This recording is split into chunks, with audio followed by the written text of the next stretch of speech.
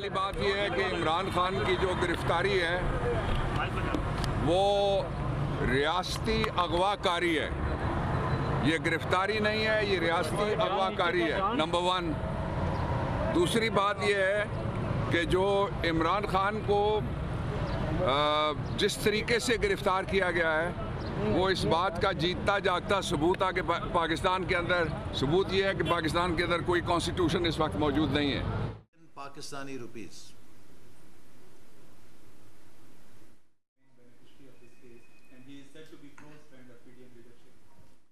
As a sportsman, he ought to be championing sportsman spirit, tolerance, and respecting rule of law. But instead, he has chosen a path of spreading anarchy, chaos, and destruction in the country only to protect himself from accountability.